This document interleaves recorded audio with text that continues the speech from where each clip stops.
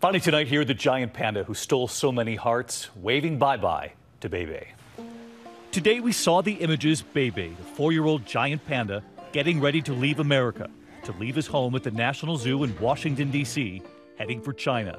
For weeks now, so many have been coming to say goodbye. Bye bye, baby. Bye bye, baby. It's all part of a long-standing agreement between the U.S. and China in the effort to save the panda population. Giant panda cubs in U.S. zoos go to a breeding program in China once they turn four. Bei Bei, born here, and for years now we've been reporting on him, a growth chart right in front of our eyes. Laurie Thompson on the right was one of the first to hold Bei Bei, and she's traveling back with him. I'm going to be going with Bei Bei to China, and on the plane, I'm just going to make sure that he's well fed and that he's happy in his crate. A specially designed crate just for him. Plenty of bamboo to eat on the way. It's going to be really hard to say goodbye, and for me, I'll be the last one of the group to say goodbye to him, so I'm sure once that really hits me, I'll probably have a little cry.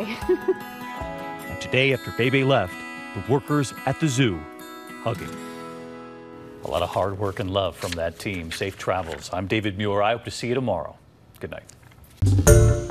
Hi, everyone. George Stephanopoulos here. Thanks for checking out the ABC News YouTube channel. If you'd like to get more videos, show highlights, and watch live event coverage, click on the right over here to subscribe to our channel. And don't forget to download the ABC News app for breaking news alerts. Thanks for watching.